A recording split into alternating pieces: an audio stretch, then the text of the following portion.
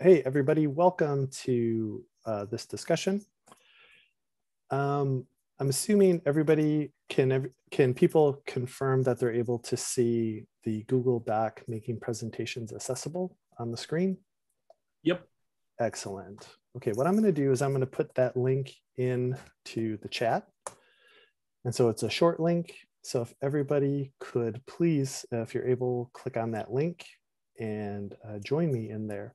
So I've given everybody edit access and the whole point of this conversation is to, um, you know, I've structured it a bit in this in this document. And so what I'm gonna do now is just kind of go top to bottom through this document um, and explain as I go. So thanks for, for coming. Uh, the first section that I have, I'm highlighting on my screen right now is attendees. If you're comfortable, feel free to add your name here in your Drupal username.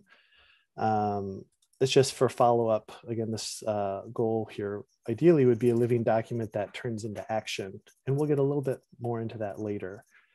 But next up, uh, I'm gonna discuss the summary. So the, the, this talk was inspired about as you're praying for slides for any event that you're giving, uh, you definitely want to be mindful of accessibility. So the, the reason we're here, and uh, I've invited a few other people, uh, specifically some designers to get some input here, is to you know talk through some tips and tricks uh, so everyone is able to understand your session and have a nice accessible presentation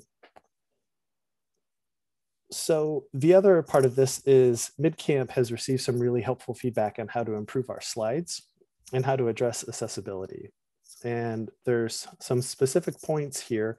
I believe there's some clarification provided by another person in the chat uh, about images in the background. Um, so again, this is a Google Doc. Feel free to add that clarification in there. I apologize, I kind of missed that, but this was the information that I got the first time around uh, about how to improve specifically the MidCamp uh, presentation template. So again, thanks for coming and collaborating and having this discussion about how to meet accessibility for all participants through uh, presentation templates. Moving down to the next section, you'll see on my screen uh, links and resources. So what you'll find here are the current MidCamp templates for review. So we have the same format, but it's in the same design and approach, but it's in a Google Slides format, a PowerPoint format, and Keynote format. So it'd be great for you to open those up. Uh, I'm actually going to open the Google Slides in another tab here. But I'm going to go back to the Google tab. And, um, you know, we'll we'll we'll come back to that in a second. I was able to um, quickly go through some of my resources to see some helpful links here. So uh, MidCamp, um, additional tips to make your presentation uh, accessible. So this was a speaker resources uh, and some additional tips that we've provided for people. Um, next one is a W3C link, how to make your presentation accessible to all. I'm going to go ahead and just open these up in another tab and then come back. Um, and the last one that I have found is the Chicago Accessibility. Uh, it's a great meetup here in Chicago. I'm located in Chicago. Um, and it's uh, how to pull together uh, an accessible presentation. And I believe they share this with their speakers at events. Uh, highly recommend. Uh, everything's virtual now with them in the short term.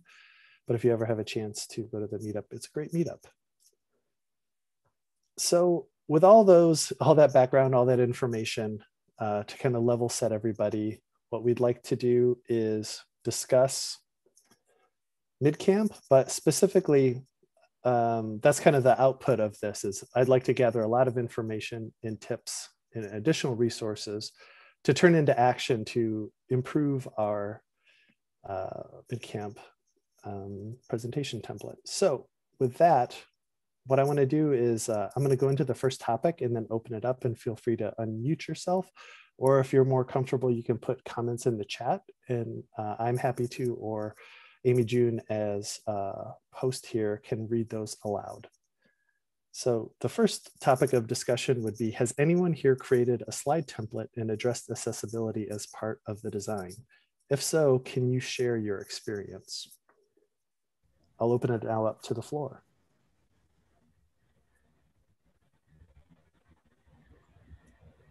Um, I work at Kanopi and we use a um, slide template for when we represent Kanopi at camps. And when I first came onto the organization, the template wasn't very accessible. And so we worked on that over time. Um, but it's an iterative process. So every time someone, um, as the guidelines change and as we create new um, presentations, all of us sort of use these slides as living documents as well that we iterate on it you know. Um, someone gives some feedback like when i first came on there were some um, headings and things that were in all capital letters and someone suggested well you know for folks who who might be dyslexic or cognitive um, uh, uh, abilities differ from from person to person that all caps is too hard for people to distinguish because they rely on the shape of the words um, for context. And so we change that part of our um, template. So that's just kind of an example is we just sort of change it over time. And then we realized like the designers didn't understand what accessibility meant. So we worked with our designers and they created new color combinations. And as a result, our website changed because our, we realized our slide deck wasn't accessible. Well, if our slide deck isn't accessible, what does that say about the website colors? And so we've actually used it as a learning process over time. Um, I'm not sure if that's, I didn't create that, but like I said, working on it and, you know, and for me, it was especially important because I give presentations on accessibility and I'm like, I can't use this slide because it's not accessible. Um, so it's that learning that really important part of like having that self advocacy for myself too and being able to take it to the marketing team. Great. That's excellent feedback. And if, if y'all are looking at my screen i'm uh, doing my best to take notes. Again this is a collaborative document. If you have something or links feel free to you know there's nothing sacred about this document. Feel free to add uh, add information as we go um, does anybody else have any experiences to share? Again, the question is, has anyone created a slide template and addressed accessibility as part of the design? And if so, share your experience.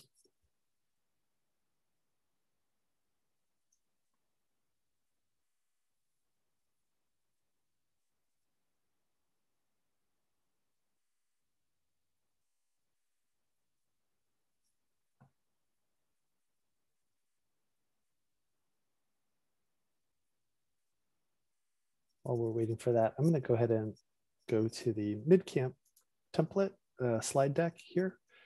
Just kind of go through some things um, so you can kind of see what our current template has been. Um, and uh,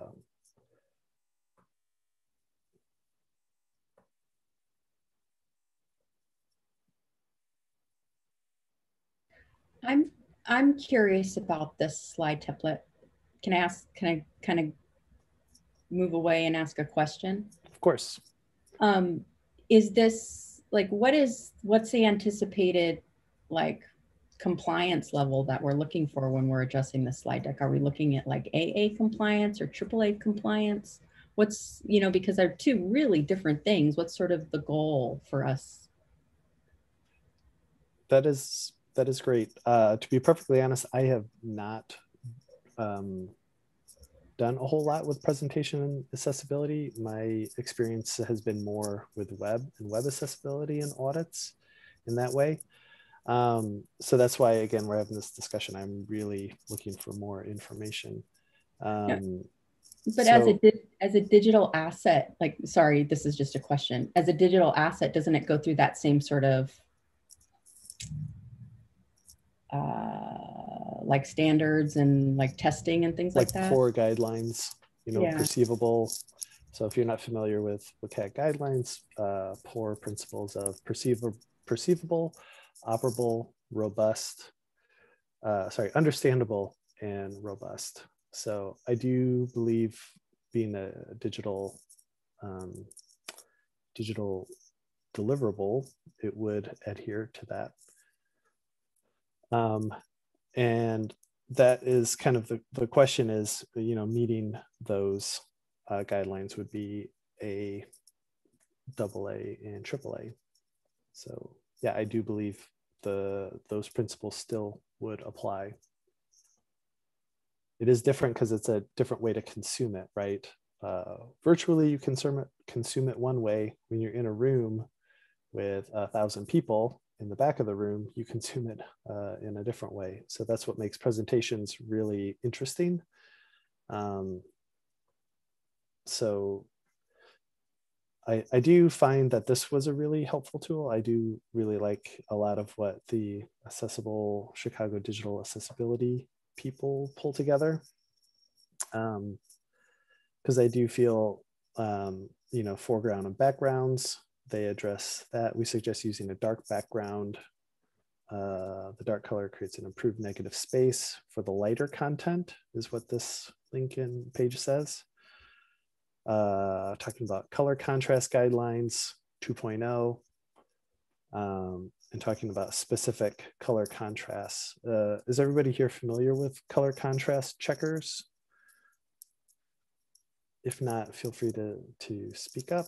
Or there's also a great link here, um, probably going to the tool. Well, this is a new tool. I haven't used this one before but um, this is a way to get a contrast ratio. It's kind of difficult to see. Let me try and bump up the, the size here.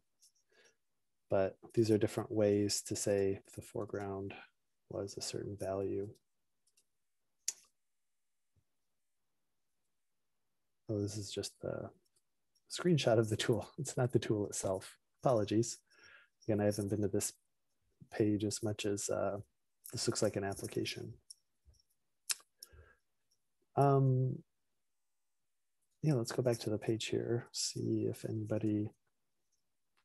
So in light of, you know, other people's and experiences, um, you know, what we can do is was hoping for a little bit more insight into in digging in a little bit more of like the MidCamp's presentation template to see if there's additional suggestions that we can have or if, if somebody else has an open discussion um, we can talk about that as well. But what we can do is go up to the specific feedback and kind of have a case study and discuss this. Does anybody have any opposition of that? Or does anybody have a template? You know, I'm happy to give up control of the screen sharing. If somebody has something to show and can discuss, that'd be great.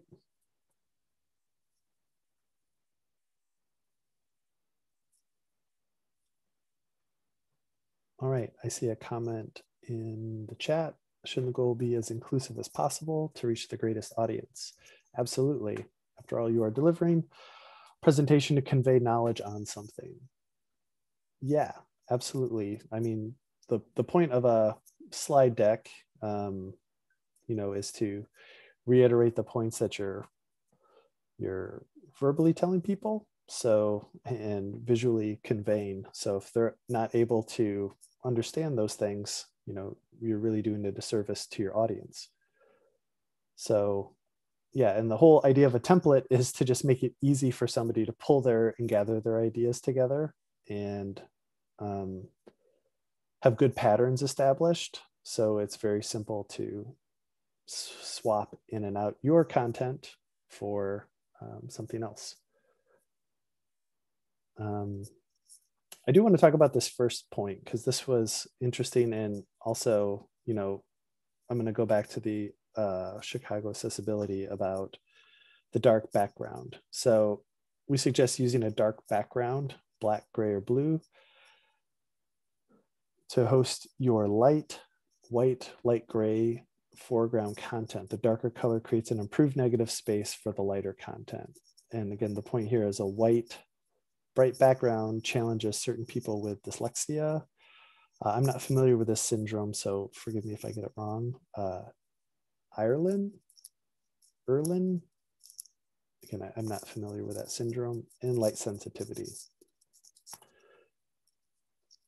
I do know from um, from templates that I've seen uh, at my company and in previous places is there's typically a mix of white, you know, like lighter and darker backgrounds, which is what we have here in the MidCamp. You know, there's typically a color, a darker color or some other color, and then there's typically a white, um, kind of a blank color here.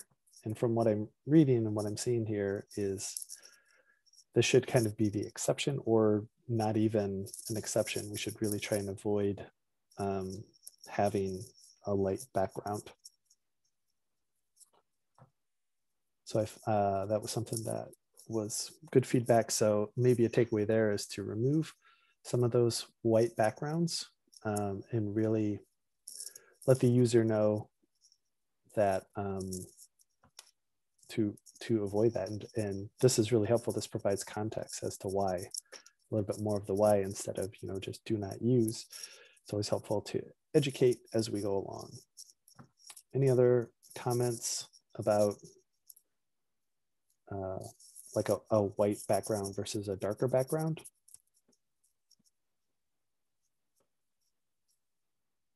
Great. Um, next, uh, the color combinations. Um, are very low contrast, again, five to one. Um, you know, that does meet double A, but just barely. So when we talk about that contrast, guessing it's probably this purple background and the blue background. So for the blue text as we're looking at the template right now. So it would be better to bump up that contrast. So we have a purple theme uh, we also have this brighter theme. So again, this I would say kind of with this yellow goes back to that first point of having a light background. So again, looking to turn feedback into action, we probably would want to, you know, not have this yellow version in our templates. Um, I am curious about this contrast. Uh, again, I don't have the tools up. Uh, don't have too many windows open, but if somebody is on and has those tools readily available, uh, it'd be great to maybe post and see like what these combos are and how close. And also if we have any suggestions. I do know that orange is a very interesting uh, accessibility color. Um, it can be tricky to understand and um, decipher uh, for contrast. All right, great. May says current slide has a contrast of five, zero to one. And I'm assuming that's the red to the orange. So that does pass double A, but fails triple A. Um, is there any, so that's great. So that would be the red. This will be great because we can save the chat and um, understand this information for later. So again, it's kind of a working session here. Um, back to this yellow, I'm curious about this one.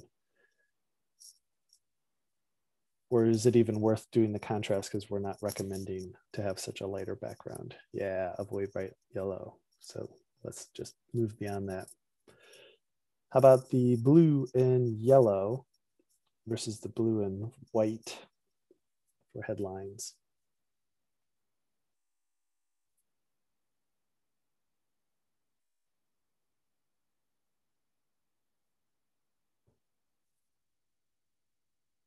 While we're waiting for those numbers. Um, uh, Noel asks, uh, I know there are online tools for testing websites, but which tools are available for testing presentations locally? That's a great question.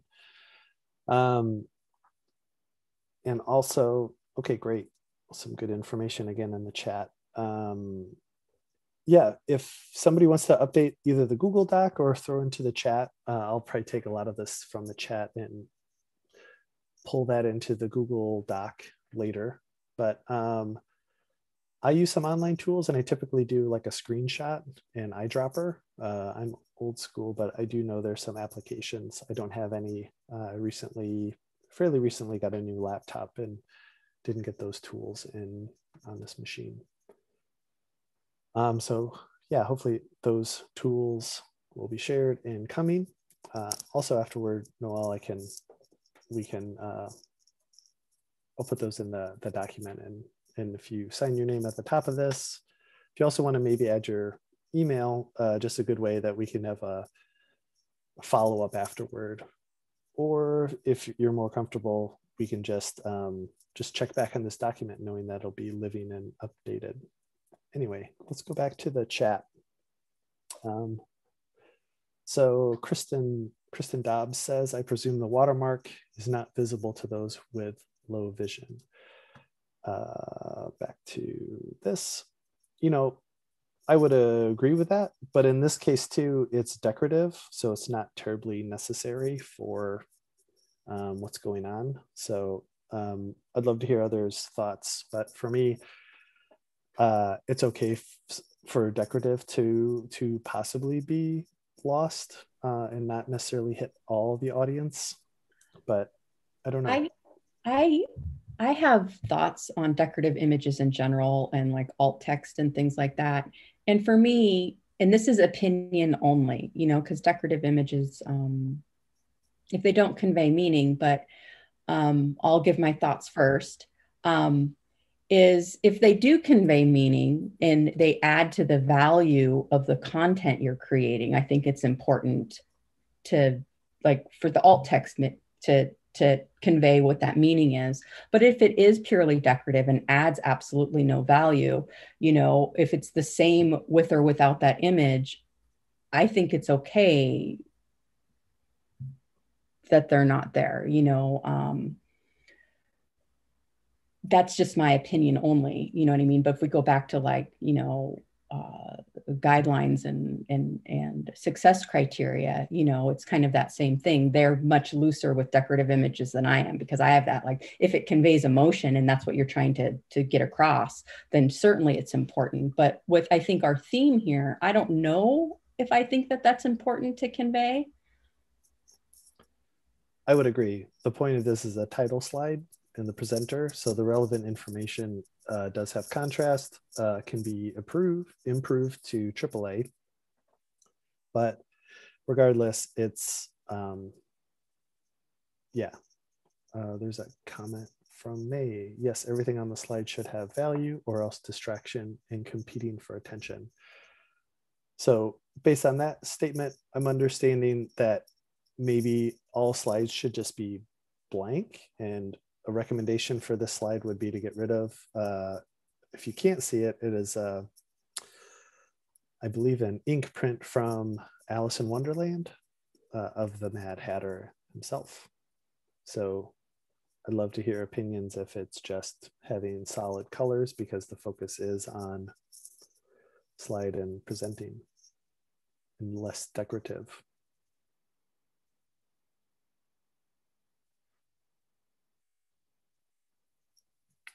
Uh, comment from May says, feel that images can add visual appeal, but only if properly incorporated.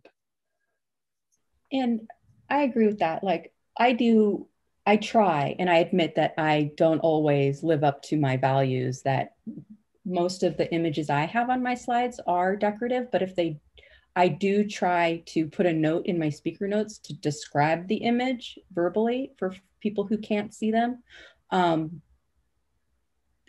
but at times if it is just like a picture of a cat sometimes i'll let that skip because i'm just adding for a warm and fuzzy feeling you know? Um, but i certainly agree that if if there is context in an image we should be verbally describing them because we don't have the luxury of alt text when we give a presentation.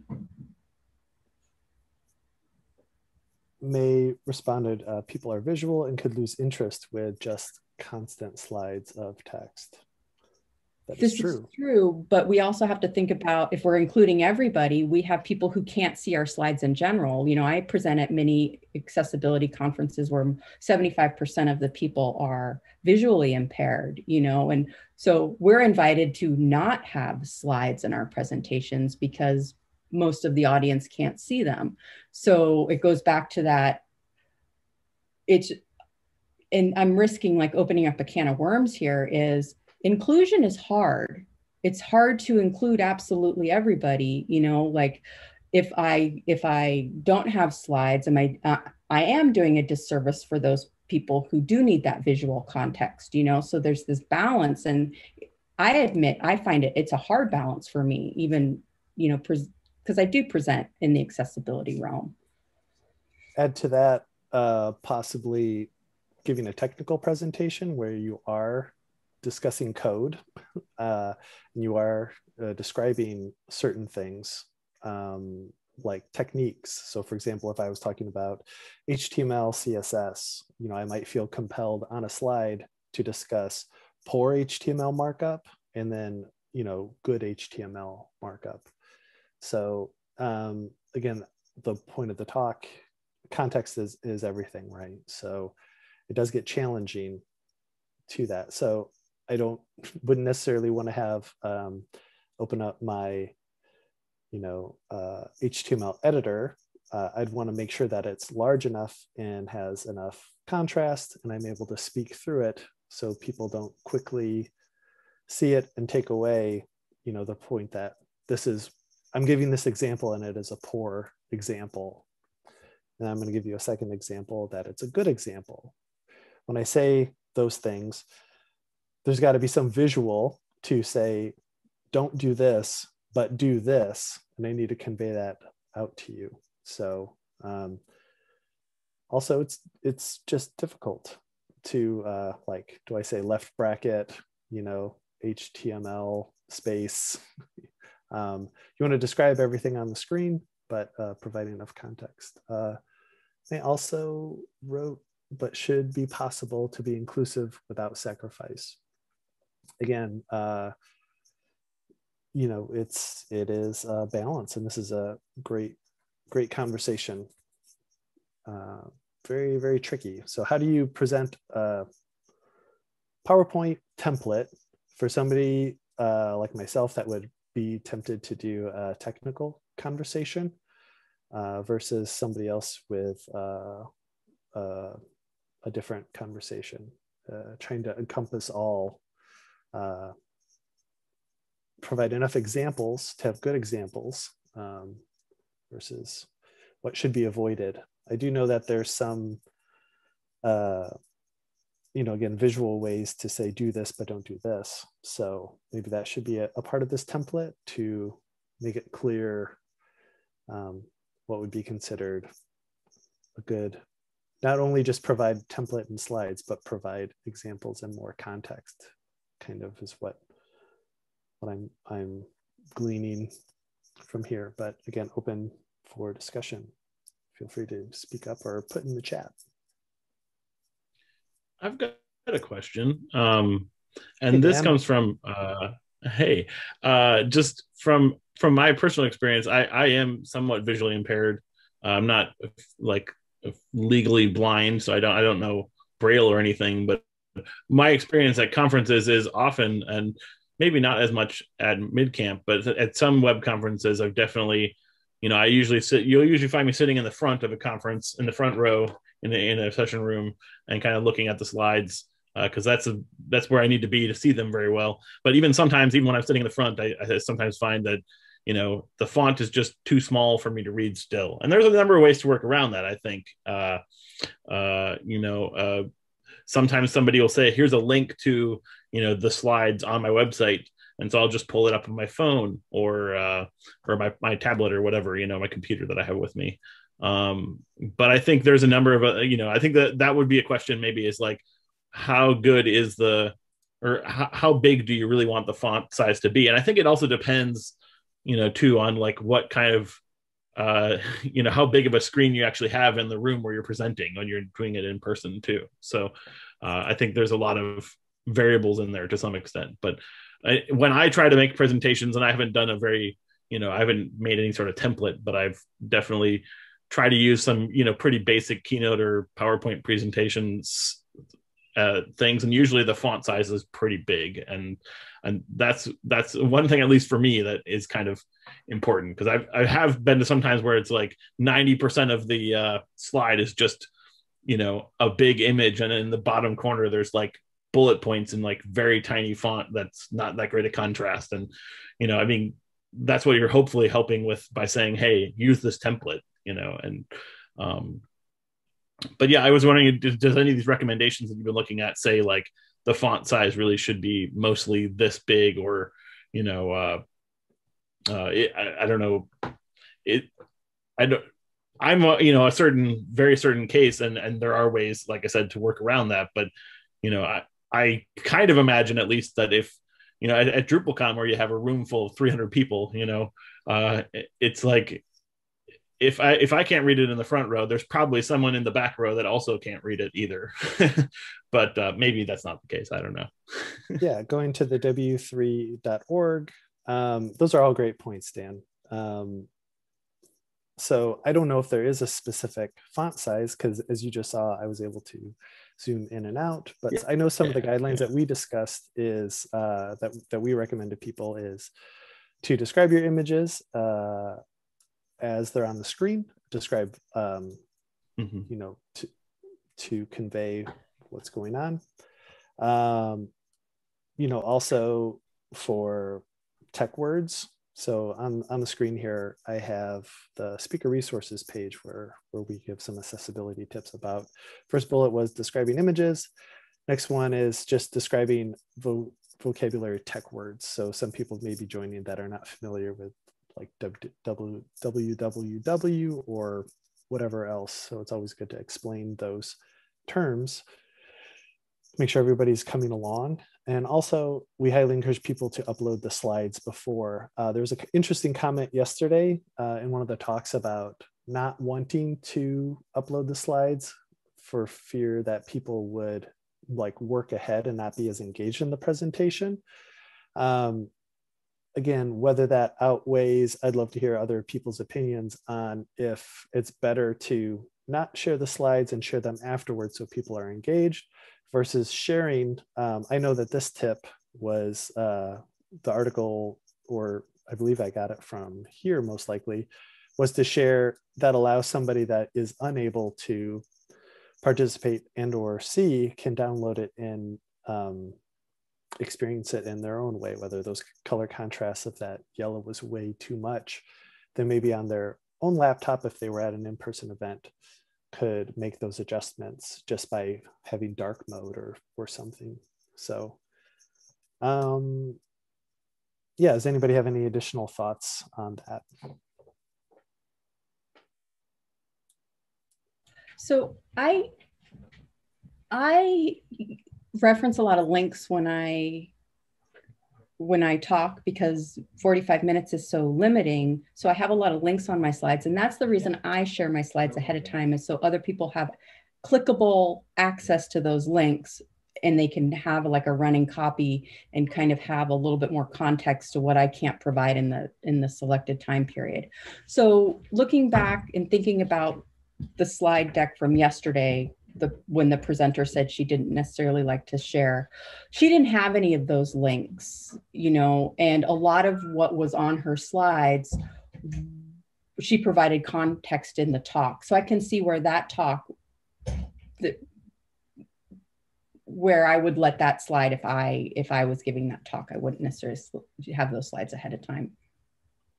Yeah i do find you know even in our opening comments of MidCamp uh, as Avi is talking, I'm doing my best to provide the links that he's talking about and sharing in the Zoom chat, so they are assess, uh, they are actionable, is what I'm trying to get at. Um, so, so you're not madly trying to write down, or he doesn't have to spell out as he's talking through captioning, like what the URL URL is. So that's I, I agree with that. And May has a great comment in here. If if ever a choice on whether or not to accommodate, always choose in preference of the people with disabilities. So that's a great suggestion. Any other comments on that? Um,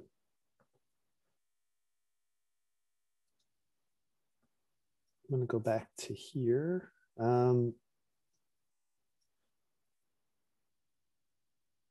uh, I'm just I just want to kind of finish through some of the feedback that we have and see where that discussion takes us. So, you know, we talked through uh, some of the color combinations. Uh, I don't know if we got through all the color combinations. Let me go back. Oh, we have the pink one. I think I know the answer to that. That's too bright for contrast. So let's just say that one's going to go away.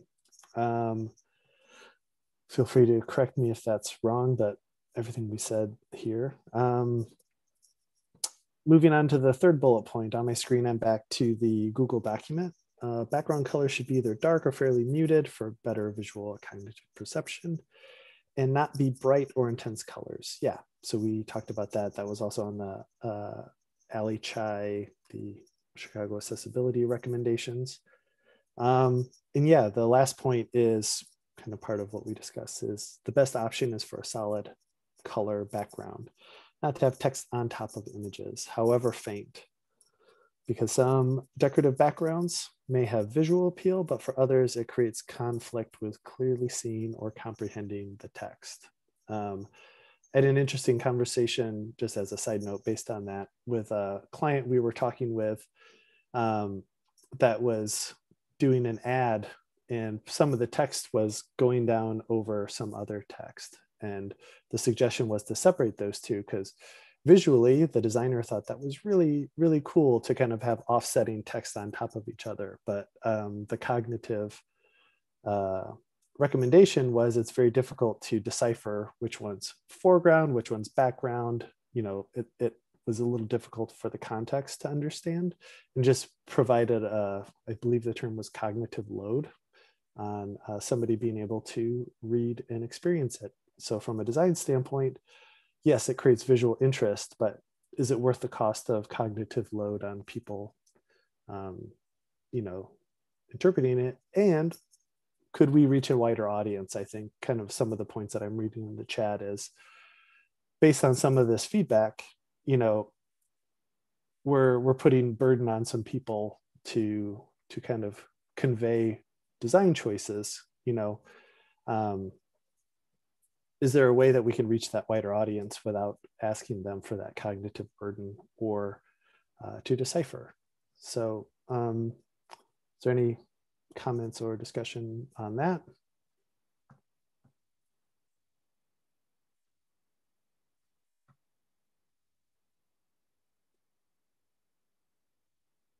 Feel free to speak up. But again, I think um, based on just going through this feedback, uh, having it visually up on the screen and talking through it here, I do feel like we can make a better, uh, some really good improvements to the MidCamp template.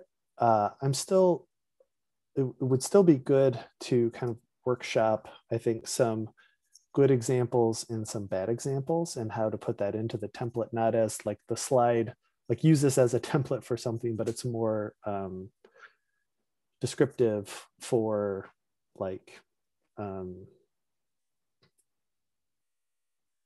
as I was saying, it, it's more to, to teach people how and, and what to do.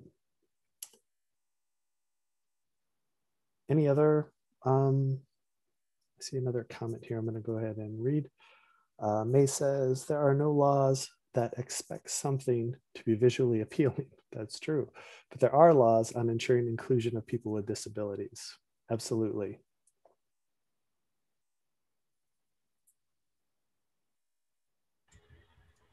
I do always say that Craigslist is the perfectly themed website, but um, Nice. Uh, and I don't jest because I'm not a front end person. Um, but I I cannot read light text on dark backgrounds. And so I have a really hard time with that concept of not having a lighter slide. Um, most of my slide decks have lighter backgrounds with um, with dark gray or black or dark green text. Um, so I'm not sure how I feel about the opposite. And that's a, just honest me from the gut. Um, I can't read dark mode, you know, so I'm being exclusive of myself when I create a slide deck with black, with light or dark gray print. So I'm a little, that's a little bit of a conundrum for me, that point. I do have to be honest. I am the same. Uh, when I got my new laptop, um, I thought for sure I'd want to go into dark mode. And I was missing things that I had seen before. I don't know whether it was behavior or for me, this is again just my personal um, experience. But I found that when I went to dark mode in certain applications that I had used before, it was cognitive load on myself to teach myself. And I was missing uh, responses to emails because I was not trained or used to seeing what was going on with that. And also, um, I just found it a lot harder to decipher menus that I was expecting to see. So that's why, with, you looking at my screen right now, uh, I do not have dark mode. Um, just personal preference. So uh, May has a comment. Yes, some people do not do as well with high contrast or dark mode because they have been long trained in the opposite. Absolutely. Um, that reminds me of a really good uh, A11y talk. Uh, I don't know if people know this, but AmyJune uh, has a, a, really good um, monthly. I hope I'm getting this right, but it's called A11yTalks. And uh, it was with a screen reader. And it was interesting. The person that was uh, maybe if if uh, I'm getting this right, AmyJune, you could put the, the link in there. But what I thought was interesting is a gentleman was giving an overview on a screen reader. And his experience was very interesting because he went slowly blind. Uh, and so he found his experience where, um, as his vision was going, um, to start using screen readers. And there it is, it's in the chat. Um, I thought that was a really interesting experience from somebody uh, from that experience. Uh, another talk that I've heard was uh, somebody that's been uh, deaf since birth versus losing hearing over time. So uh, I agree with May's comment about uh, been long trained in the opposite. there's a difference between having experiencing something in one way versus having it um, having the need for it over time is uh, just a different way. And i think uh, the final thing i'll say about that is just um, understanding and, and, using new tools is always interesting to explore. Um, and kind of, we're coming up on time here but that's another part of today is uh, i find it really good to have these conversations so i can learn something um, about how to improve and all the considerations. So um, does anybody have any uh, some some final thoughts here or feel free to add into the Google Doc. But is there any last thoughts as we're kind of wrapping up about uh, how to make a presentation uh, accessible?